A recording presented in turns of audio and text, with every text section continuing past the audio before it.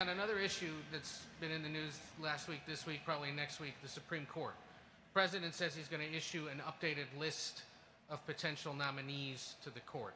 You have said you would put a black woman on the court should a spot open up, but there are groups calling for you to release a list of specific names you'd put on the court. Are you going to do that?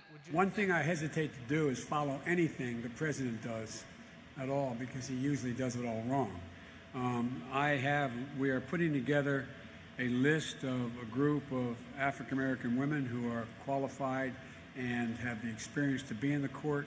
I am not going to release that until we go further down the line of vetting them as well.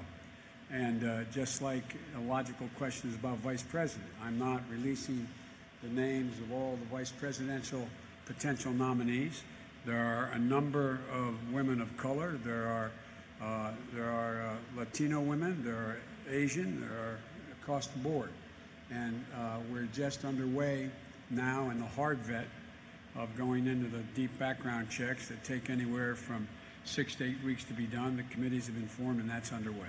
In August 1 is still the target announcement date? Well, early August. I, I, not- I can't guarantee you August 1, but it will be in early August, before, several weeks before the convention, I believe. Yes.